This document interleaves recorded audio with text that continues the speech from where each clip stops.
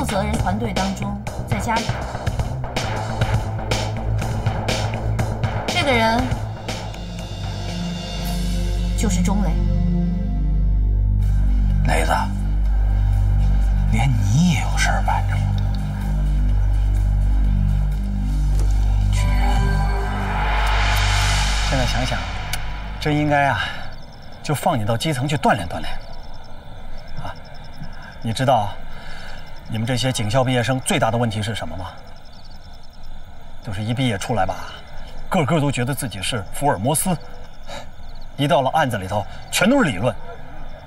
不过，你还行，这两年进步挺大的。就是你这个脾气啊，你得好好跟我改一改。哎，你说你这个性，如果让你去当特勤，那不得坏事儿啊？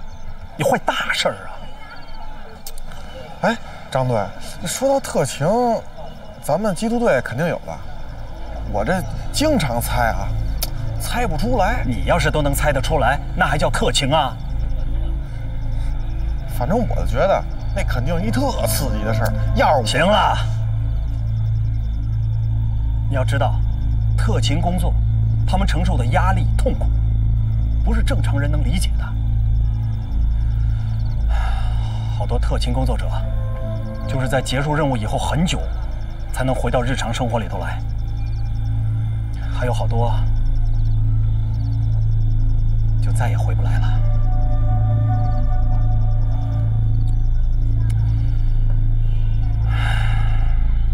好了，不说这个了，说说你吧，你怎么样？我我我挺好的。你跟杨静的事儿啊？不是这事儿你也知道了？在缉毒队，我什么事情不知道？说。我们还行，就是朋友，朋友，朋友。行了，你也别担心。对于情感问题，我是既不支持也不反对啊。不过有一个原则，绝不能影响工作。我保证，这边一定放心。走吧，回家。哎。张队，嗯，不是，这表可不错，哎，没什么，不是，您什么时候买的？我不是我买的，一朋友送的。这这国际大牌，什么朋友送这么？你问这么多干什么？刚跟你说完啊，晚上回去，保密条例给我抄十遍，明天交给我。哎，张队，你也太狠了吧！我不问不就完了吗？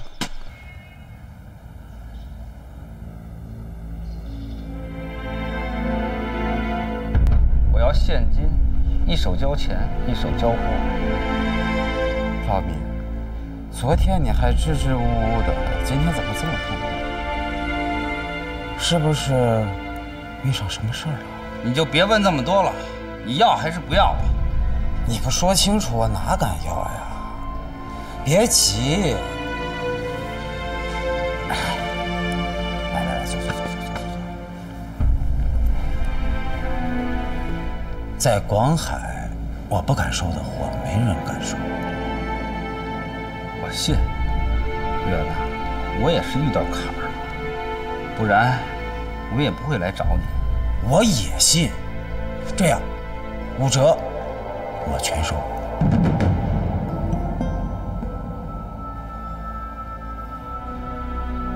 准备好现金，我给你打电话。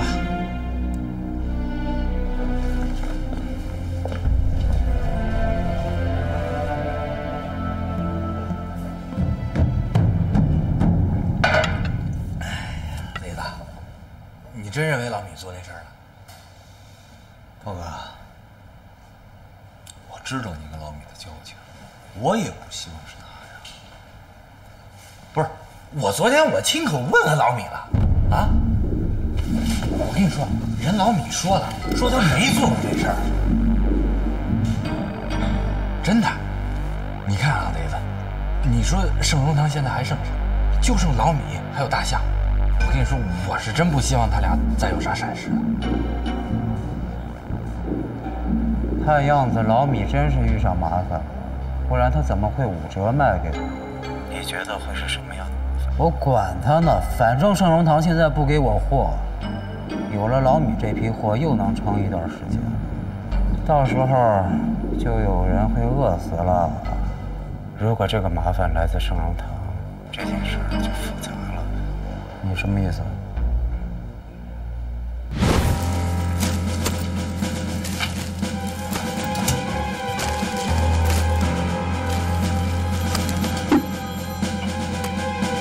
喂，小李，就我一个人，什么？二十万？二十万就二十万吧，叫人把船准备好了。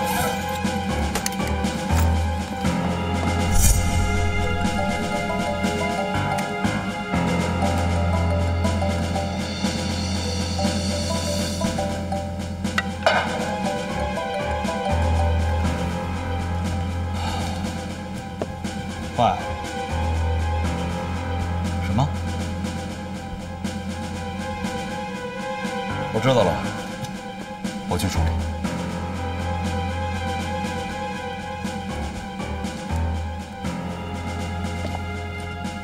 老米可能要出事儿，不是又咋了？你跟我一起去就知道。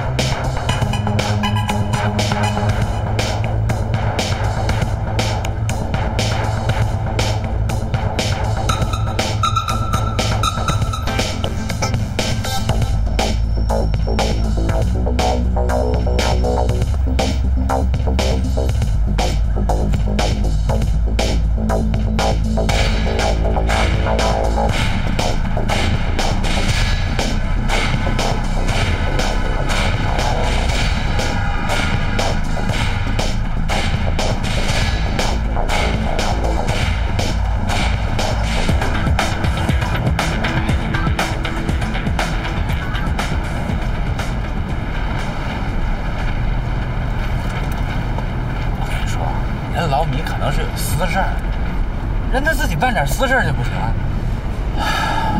但愿吧。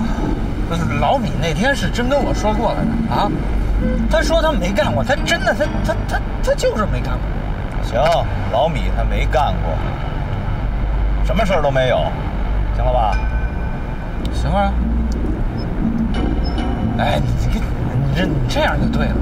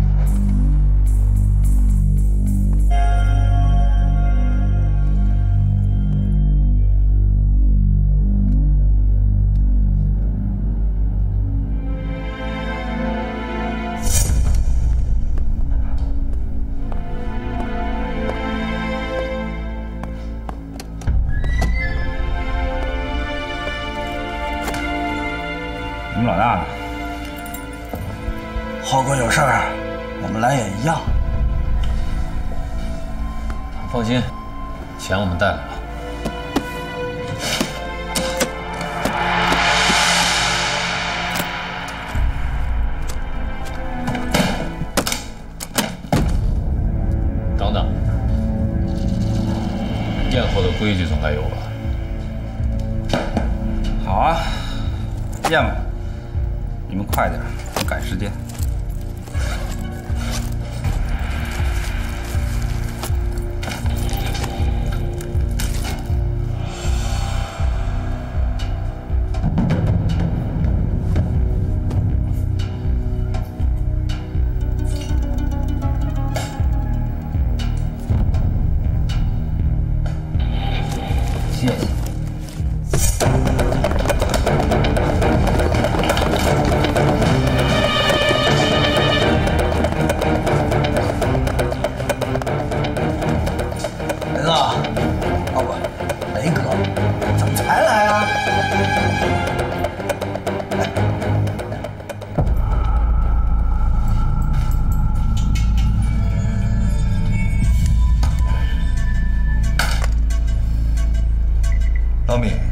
钱都不数一数就走，也不怕他们把你坑了？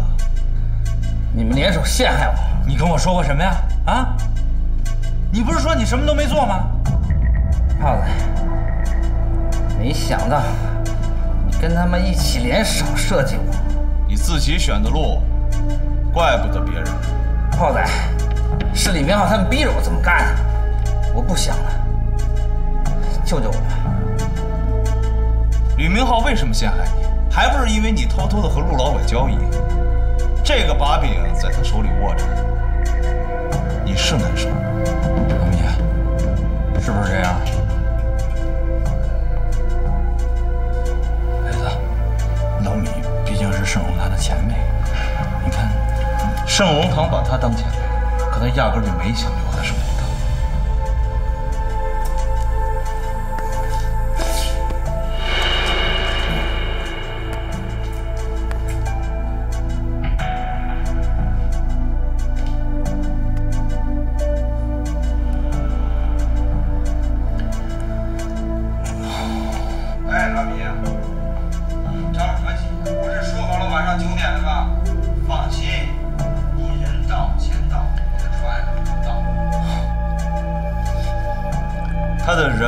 钱都到不了了。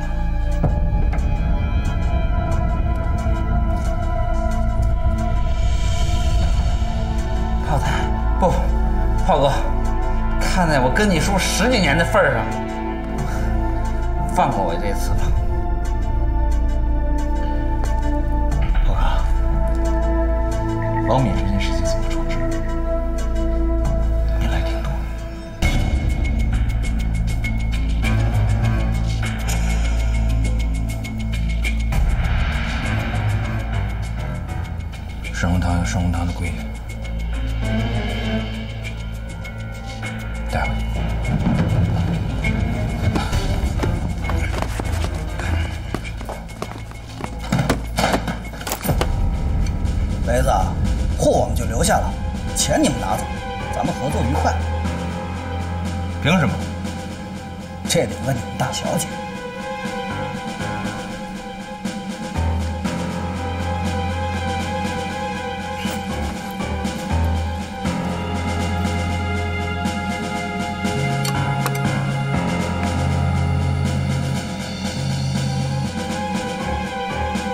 喂，他们要把货留下。给，那价钱呢？按老米答应他的折扣给的，我们盛荣堂绝不实行。是。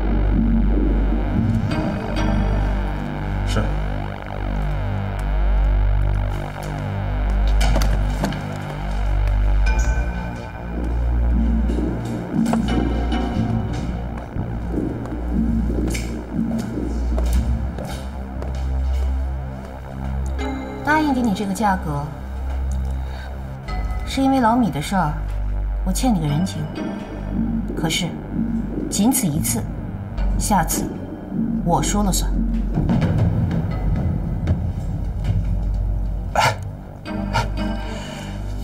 当然，我这个人呢，一向是尊重女士的，尤其是美女。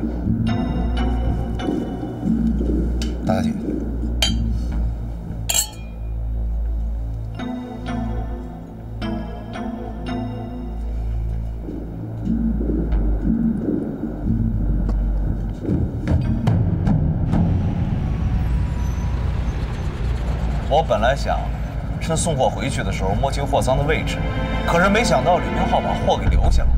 那批货到了他的手里，还不知道要祸害多少人。变数总是会有的，你不需要太自责。李明浩拿着这批货，不外乎是想卖，只要我们派人盯紧了，总会超回来不少。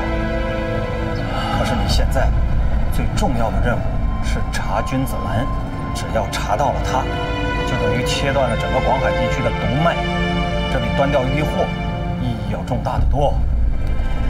我知道，我一直在试探刘曼妮，可是每次当我说这个话题的时候，她都不愿意继续。所以现在看来，想要接触到君子兰，最便捷的方式还只有通过刘曼妮。你务必用你足够的实力去引起他对你的注意。我知道，看来我得需要完成几次漂亮的交易。有我在，你放心大胆的去做。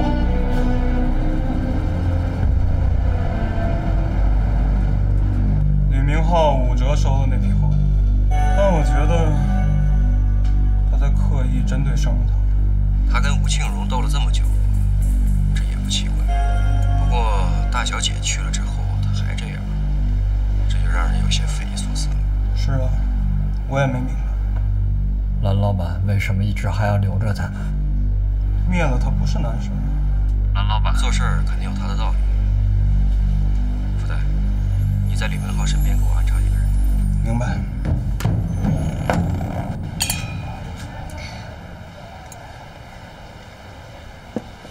说实话，有时候当老大挺好玩的，可是有时候真的很烦。这么多人帮你，你烦什么？以前了解的江湖是在电影上，非常刺激。可是真的进了江湖，我觉得完全不一样。电影上讲的是道义，现实中讲的是利益。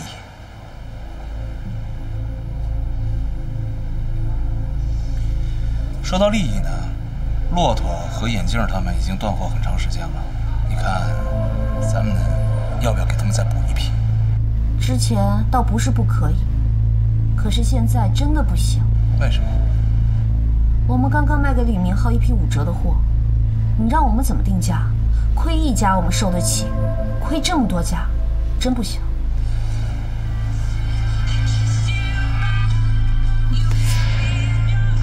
说曹操，曹操来了。喂，李老大。赵小姐，我遇到奇怪的事儿了。什么奇怪的事儿啊？这按平时吧，我这三十多个厂子，每天至少能出两三百克的东西。可是，自从收了你这批货，每天最多能出二三十克，有的时候连十克都出不到。你说奇怪不奇怪啊？那确实是很奇怪啊。但是我真的帮不了你，可能是你最近霉运当头吧。要不要来我们圣荣堂拜一拜？我们的关公很灵的。大小姐，你就别拿我逗闷子了。这要是平常其他的东西卖不了还能退，可是这玩意儿压在手里这么多钱，这可怎么办呢？你得帮我想想办法呀。好吧，那等我慢慢想。怎么说，你也是替我干爹出货了。对对对对对，蓝老板不会不管的。那我等你好消息了啊。货卖不动，鬼才信。这个吕明浩不会又搞什么鬼吧？不知道，回头让福仔他们查一下。不管他了，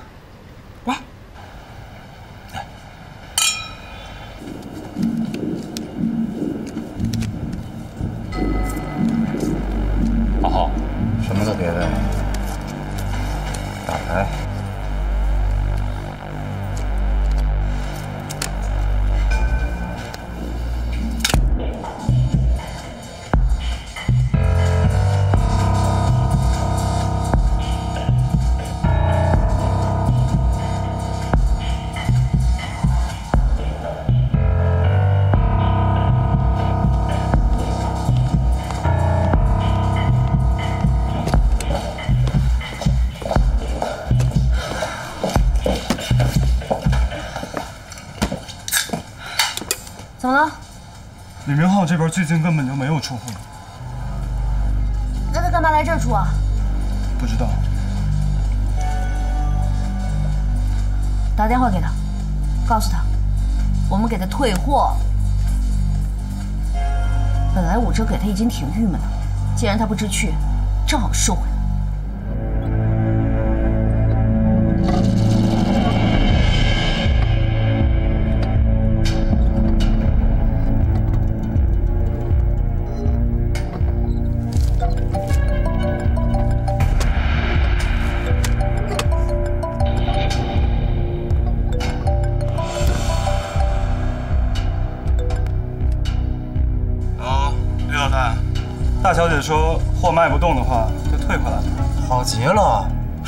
堂就是盛荣堂，大气。你们把钱准备好，明天我就派人把货送回去。价格嘛，就按现在的市价好了。什么？他要我们按市价退给他？他疯了！我们五折给他，他转身就想按市价退，做梦！告诉他不可能。我是谁？我是炮哥，对不对？啊，我啥没见过？我啥世面没见过？对吧？对吧？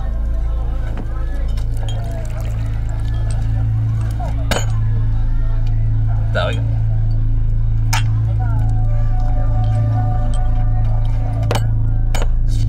他就明着找事儿。他把盛荣堂当什么？傻子啊！不行，这口气我忍不下，完全忍不下。你们作为盛荣堂的负责人，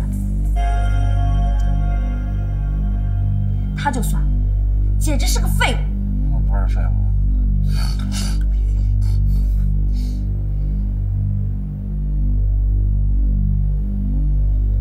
你作为盛荣堂的负责人，这事儿怎么处理？我总觉得吕明浩最近这一系列的行动，他的目的好像是为了激怒我们。好啊，他是不是以为没有吴庆荣的盛荣堂就好欺负？那他得逞了，我怒了。和盛荣堂闹翻，对他一点好处都没有。他得罪了盛荣堂，就相当于是得罪了蓝老板。他现在没有这个实力，也没有这个胆量。我也在纳闷呢，他为什么这么做呀？我觉得他是想引起蓝老板的注意。蓝老板本来就知道的，他有这个必要吗？他是想让蓝老板知道，在广海地区，只有他吕明浩一个人敢挑战盛荣堂的威胁。假如有一天大小姐想放弃的话，他就可以顺理成章的接管盛荣堂。他做梦！他现在已经严重的激发了我的斗志。你们听着，只要盛荣堂在，我就绝对不会离开。好，既然你有这个决心，我就给你提个建议。什么建议？按照吕明浩说的，给他退货。你也疯了吧？也许吧。你们先听听我的计划。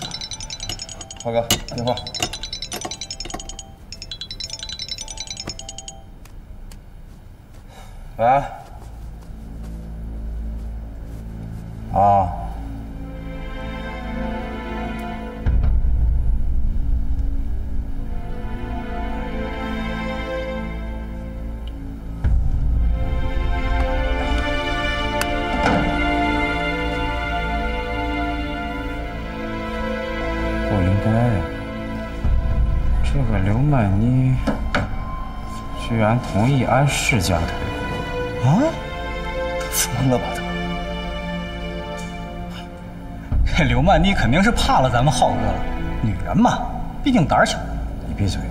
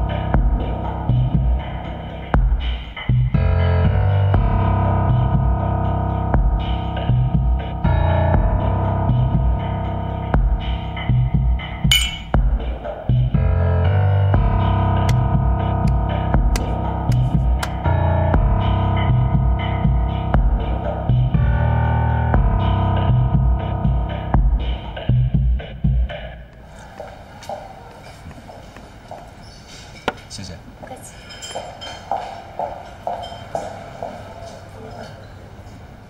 哎，怎么了？晚上没睡好？昨天晚上跟干爹聊了聊。这件事，蓝老板怎么说？我才不跟他说呢！我还特意叮嘱福仔不要跟凯文提起。起码在搞定吕明浩之前，我是绝对不会跟他说。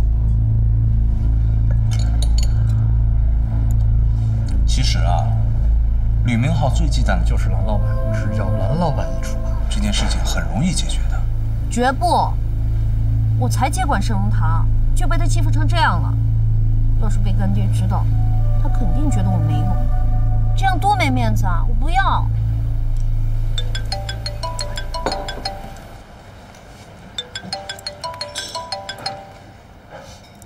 喂，炮哥，磊子，我跟你说，我那个突然想起来，我还有一笔烂账没收呢，你得帮我收了去。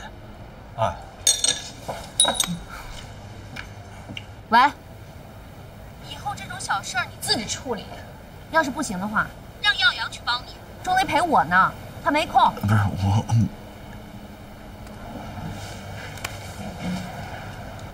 跟你说过多少次了，别老让他拿你当小弟使唤，知道吗？好了好了，来吃饭啊。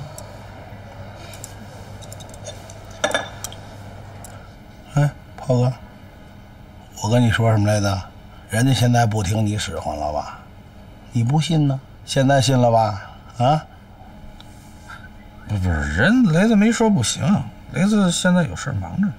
对呀、他现在是忙着呢，他正忙着搂着那大小姐，亲呢。不是，你看你那啥表情啊？我跟你说，雷子现在是负责人，人家有好多事儿得忙的。我就知道你得护着他，这全天下的人都知道，你拿人雷子当兄弟。对呀、但是你知道人雷子拿你当兄弟吗？炮哥，不是我说你，你想想，如果要是没有你，他能在圣荣堂混得下去吗？这些年不是都靠你罩着他吗？人家现在是圣荣堂的负责人，大事小情人家说了算，你呢，玩蛋去。嫉妒，哼，咋了？我跟你说，雷子是谁？我兄弟，我带出来的兄弟，我带出来的兄弟现在是什么呀？老大，所以呀，我脸上有光。行行行了吧，还你脸上有光呢？哎，我说你就不能那脑袋开开窍吗？啊，那这么些年了，那过河拆桥的事儿还少见了你。雷子是不可能的，我就跟你说吧啊，当初呢，当初什么呀？当初人家刘曼妮接管盛荣堂的时候，哎你知道刘曼妮跟钟雷之前就认识吗？不是，咱话再说深一点，那我还怀疑刘曼妮跟钟雷俩人商量好了呢。你再想想，荣叔那事儿，这事跟雷子没关系啊。我跟你说了，都说了这是小金，对，所有人都说是小林干的，你有证据吗？说不上来了吧？所以我说，万事皆有可能。你能想到强子跟大海都是这个吗？啊，你能想到老米会干出那种事来吗？所以我跟你说，盛荣堂跟着荣叔的老人没几个，咱叫舒服一天是一天，就这样，哪天一不小心，还得让人家给。不是你啥意思？那句老话怎么说来的？祸从出。你接着说。来，妹子，给哥使点劲儿，这儿这儿这儿。哎，好，好，好，哦，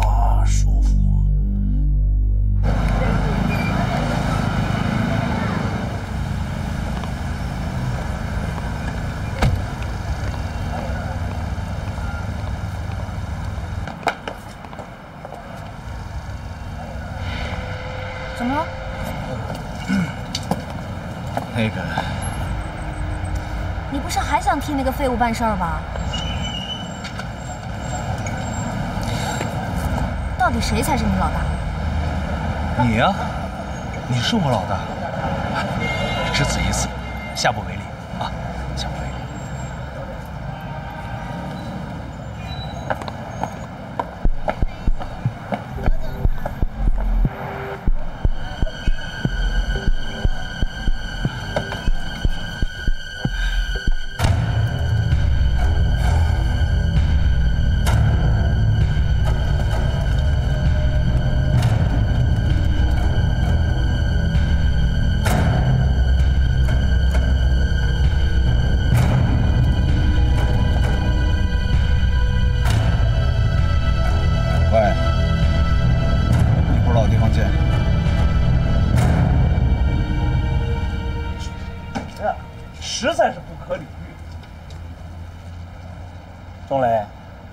我是来听你恋爱烦恼的吗？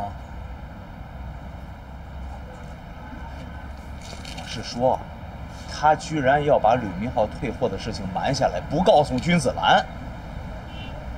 听哪儿去了你？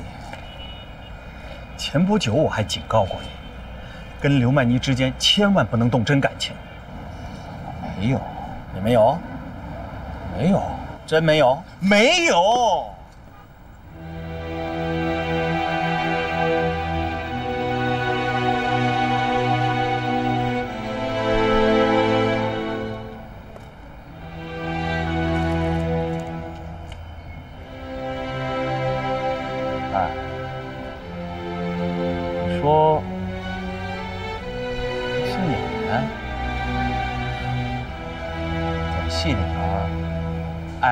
去活来的，恨不得扒了皮、抽了筋。这戏拍完了，他们是怎么脱离出那种情感的？可能是拍戏吧，几个月就拍完了，不像我，好几年，每时每刻，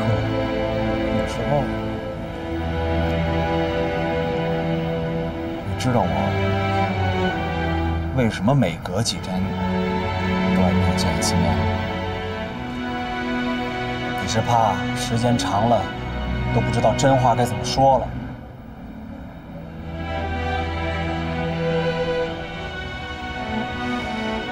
哎呀，我现在觉得吧，我每天都在撒谎，谁都在撒谎。知道吗？我现在有时候都分不清哪些是真的，哪些是假的。有一次刘曼妮问我，说：“哎。”我怎么没见你有什么朋友啊？我说有啊，说完这句话，心里就疼了一下。人非草木，孰能无情？我完全理解你的心情，这的确很痛苦。可是，可是我是警察，我肩上我向警徽发过誓。我知道，放心。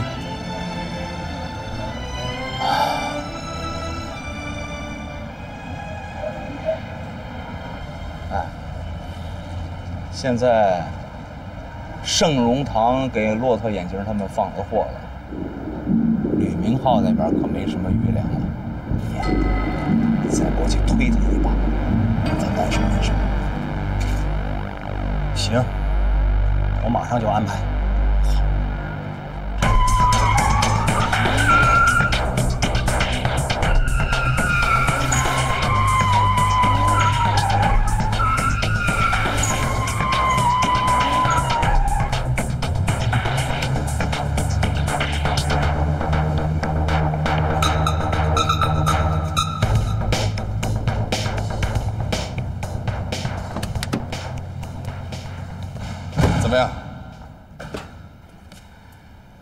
力不错，提速快，下次比赛就用它了。就是转弯的时候有点压不住，发飘。嗯，说，这几天啊，有货进了咱们的厂子，我查了，是眼镜和陆老拐他们。听说盛荣堂给他们几家都供了货，而且价格比咱们低。刘曼妮这是赔钱赚吆喝，让那几个杂碎围追堵截我，这招可真够狠的。浩哥，嗯，出事了，怎么了？老于让警察给抓了。老于，王阳项店的一个赌徒，他们俩一直在线联系。告诉王阳躲一躲吧，别让那个老于给点了。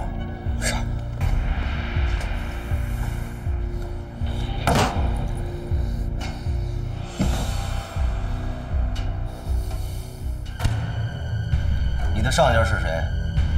是个姓王的，都叫他王哥，真名叫啥我也不知道。你怎么从他那里拿货的？就一次两三包、三十包这样，都是他开车过来，就在马路上，我直接给他钱，他给我货，完了就走。他住在哪儿？不知道。他经常和什么人联系？不知道。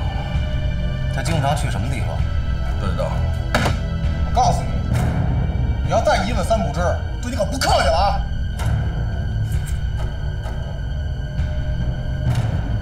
李贵志，隐瞒真相对你可没有什么好处。他跟什么人联系，我真不知道。他挺小心的，从来没有过提起他的上家，也没有说过在他那儿拿货的人。不过我知道有个人也是从他那儿拿货的。谁？是一个外号叫黄毛的小子，经常在超音波舞厅看见他。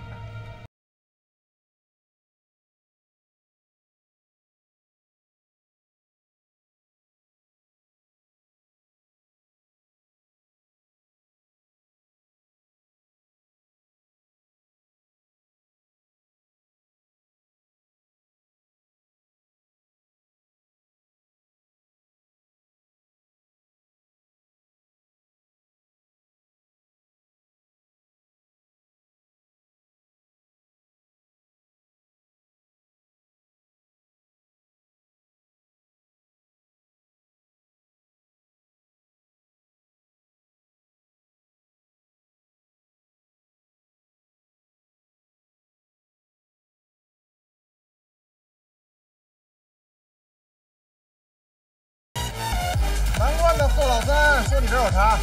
贺老三，别听他扯淡，我这儿什么都没有。行了，兄弟，我跟贺老三是发小，帮个忙。